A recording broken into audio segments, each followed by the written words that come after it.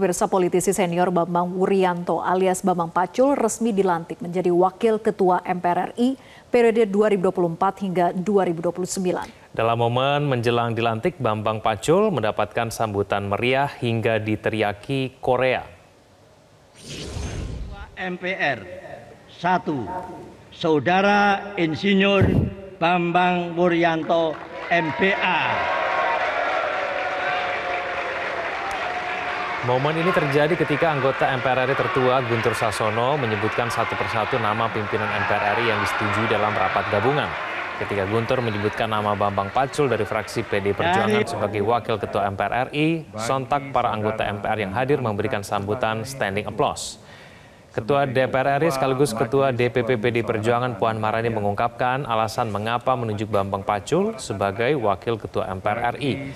Puan menilai Bambang Pacul memiliki pengalaman mumpuni di DPR.